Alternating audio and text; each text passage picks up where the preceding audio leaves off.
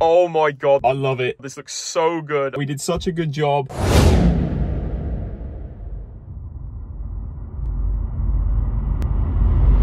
What's going on guys? Now today we've got a first for Mend It Mod It, but this isn't really the right place to be starting this video. That's more like it, because today we've got our first interior mod. And it's a good job too because it's just started absolutely hammering it down. Now you guys will probably hear me talk about my old Vauxhall Astra quite a lot. Mostly about how bad it was and how much of a pain in the ass that car was, but there's one thing that I really miss about it. And that's the interior. I mean, don't get me wrong, I really like the interior in this car, but I think there's one thing that it's really missing, especially on the ST model, and that's a black headliner, black sun visors, and black pillars. So we're going to address that today, and oh god, what does he want? Yes. I just came to make sure that you're doing things properly this time. It's just a headliner and some plastics. I think I can manage. I hope you're not just trying to dye the headliner and spray paint the pillars. That's not going to work. Will you just leave me alone? Ugh, when are you going to learn? honestly, he's a nightmare.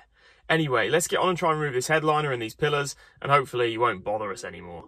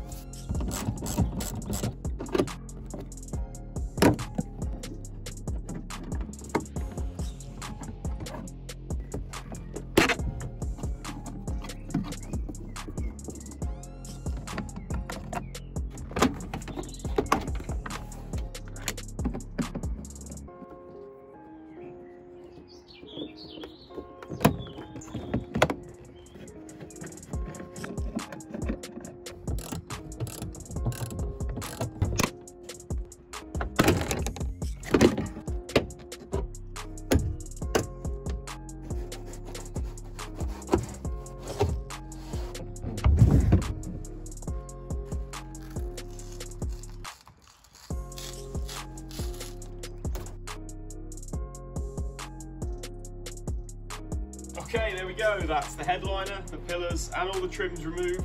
And you've got to admit, the car now looks full race car spec. I mean, luckily it's still going to be functional, so I can still drive this thing for the time being. It's not going to be one of those things that leaves it off the road for a long period of time. But that's all I'm going to have time to do today, but I'm going to get up super early tomorrow and crack on with getting this headliner and all those trims and everything else blacked out. Make sure that you're doing things properly this time. I hope you're not just trying to dye the headliner and spray paint the pillars. That's not going to work. Uh, when are you going to learn?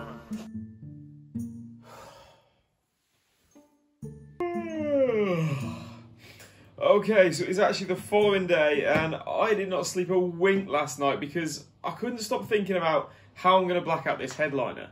But I've really been thinking about it, and to be honest with you, I think my brother's probably right. So rather than dyeing the headliner like I've seen people do in the past, we're actually going to retrim it. So this is some 2mm foam-backed fabric that I found online, and I'll leave a link in the description if you're looking to find this yourself.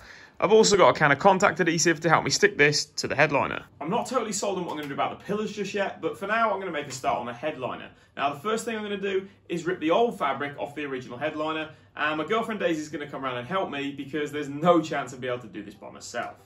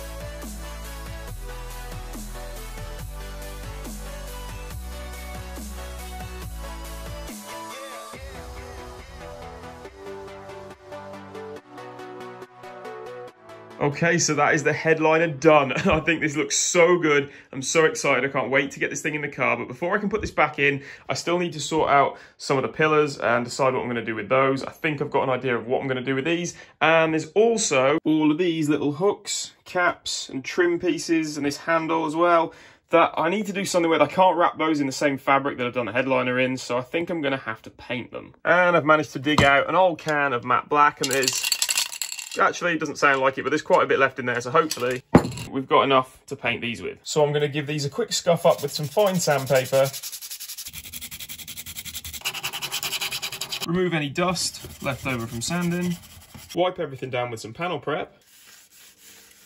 Give everything a coat of plastic primer. And then hit everything with a few coats of matte black.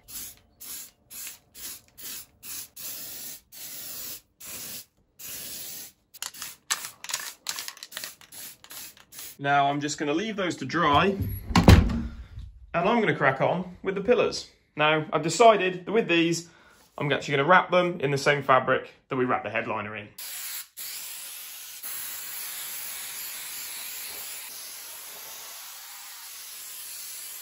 Okay, so this has had a couple of minutes and it has started to go tacky. And then I'm almost gonna roll that down, but I'm only gonna do the first little bit because this is a curved piece you do have to like work with the fabric quite a bit. So there you go, you can start to see the, uh, the basic shape on there. So the next thing I'm going to do is trim off most of the excess. I'm going to have to make a few relief cuts in this as well to get around things like these tabs and you know some of the sort of sharper angles on here as well. But uh, the first one did, I did the first, uh, the other side off camera and it actually turned out really well. So fingers crossed I can get this side looking just as good.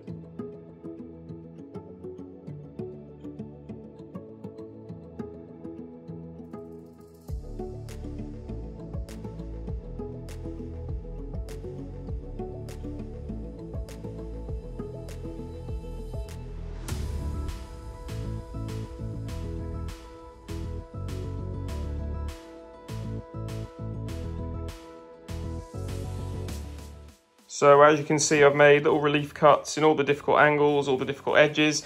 So then hopefully we can just fold this over nice and easily, glue down the edge of the fabric, glue down the inside edge of the pillar, and then we can stick these corners and edges down.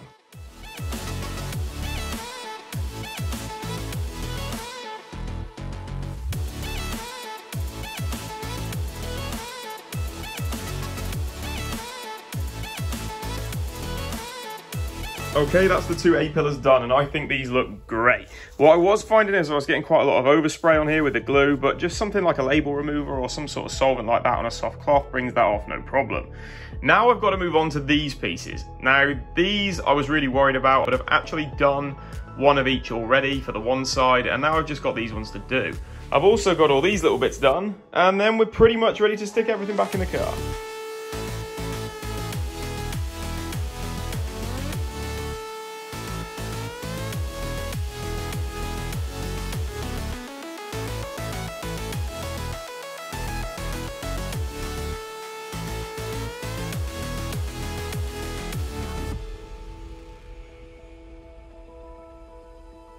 Okay, there we go. That's the pillars wrapped and they look so good. I'm so excited to get these in the car. There's still a couple little bits I need to do, like cut out some of the holes for the little plugs and the seat belts and things like that. I need to cut out all the little bits for that, but I'm not gonna make you sit through that. So I'm gonna get that done and then we can get these back in the car and get the headliner in and this is gonna look so good. I can't wait.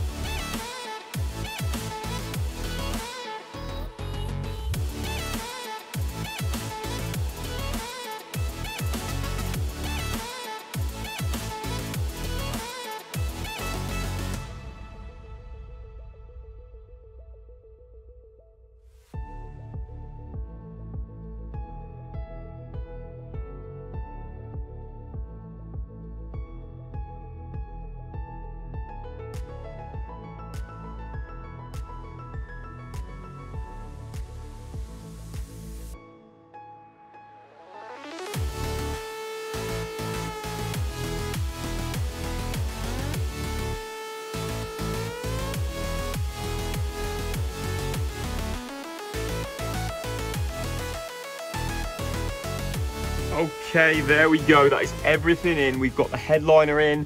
We've got all the pillars in. We've got the light in. We've got all the little bits of trim.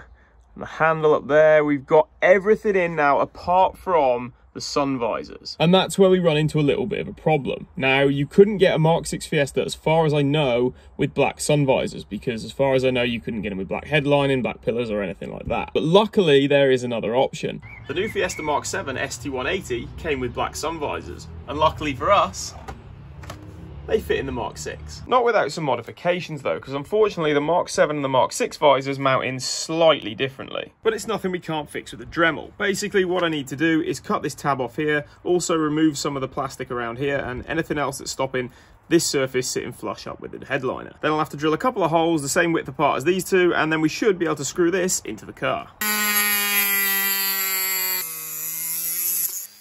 Next I'm going to drill a hole roughly where I think the visor is going to mount. Then roughly measure the distance between the centre of the two holes on the original visor. Then mark this out on our new visor. Drill our second hole. Then mount the new visor into the original mounting point.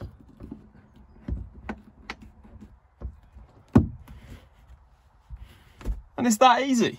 And there we go. Oh my God, this looks so good. I'm so gassed for this. It just looks so much better in here. I don't understand why they didn't come with an option at least like this from the factory, but it's all turned out so well even down to these little details like i didn't think when i painted these that they'd come out very well at all and the visors as well on camera actually the visors look a lot lighter than the headliner but in person i mean they match almost perfectly is this like texturing on the sun visor and it's pretty much the same as what's on the roof. The color looks slightly different. I think it's because this is like a plastic, so it's shiny. So when the light hits this, it's making it, it's making it look a lot different on camera. But honestly, the color match between the two as well, considering like this is a standard Ford part and this is just, you know, a generic headliner off the internet. But oh my God, guys, I'm so happy with this. That looks sick.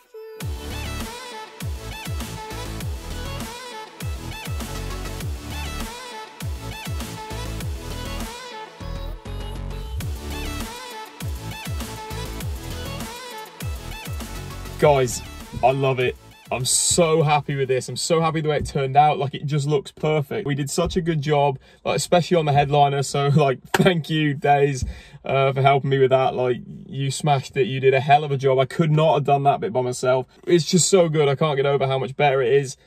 I love it. I really do. I love it. It looks so good in here. It looks so much more like sporty as well with the sort of black headliner, black pillars and to go with the sun strip that we fitted in the last video as well. But the best thing about it, you know what I really like about it? It doesn't look too over the top and it, it looks it looks almost OEM. You know, a lot of people go with like fake suedes and things like that. And yeah, it can look good, but I, not really for me. I think this looks really clean, looks really OEM.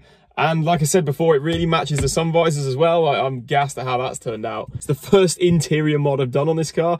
And I think it's the best one I'll ever do. I don't think I'll do anything to the interior of this car that makes me more happy than this headliner. And just quickly, for those of you that were wondering about the sun strip that we fitted in the last video that we had to improvise with with some window tint, the proper one has now turned up and has been fitted and it looks great. It looks so much better than that stupid tint. Well, that's going to do it for this video. Let me know in the comments if you want to see more interior mods on this car and make sure you subscribe so you don't miss them. As always, thank you very much for watching and I'll see you next time.